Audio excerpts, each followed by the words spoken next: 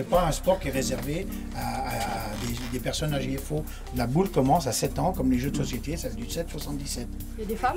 Bien sûr, bien sûr, bien sûr. Il y a une équipe, vous allez avoir une équipe féminine, qui est, euh, une équipe féminine, c'est en Haute-Savoie. Ça fait à peu près maintenant une, quinzaine d'années que la Fédération française de boules lyonnaise donc, euh, est rentrée en rapport avec euh, l'éducation nationale pour mettre en place des formations dans le cadre de l'EPS. Donc nous, plus, nous avons, comment dire, nous avons été d'accord pour s'engager dans ce sens-là avec des lycées de notre commune. Et compte tenu des équipements que l'on a qui sont adaptés, donc on reçoit les élèves depuis à peu près maintenant 6 ou 7 ans dans l'enceinte de nos locaux.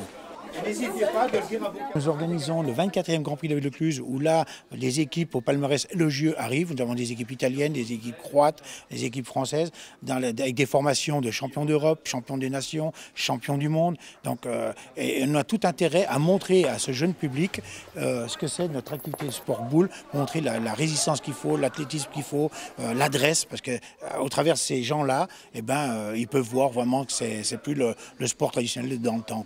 bienvenue à bienvenue en Haute-Savoie, et que la, fête soit belle et que le sport soit beau. Mais on n'en doute pas.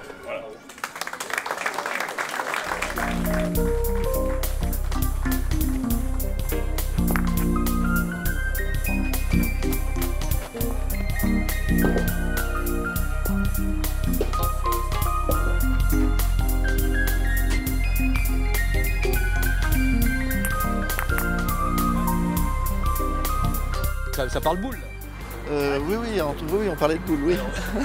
Vous êtes venu pour supporter euh, Non, non, je suis parti un peu du comité, donc euh, je suis venu donner un coup de main. Très bien, les jeux sont magnifiques, l'accueil est super, tout va bien. Il y a des belles équipes très relevées, super sympa. Aujourd'hui, pour réussir dans le sport boule, si on n'est pas athlétique, on n'y arrive pas. Il faut être un vrai marathonien. Música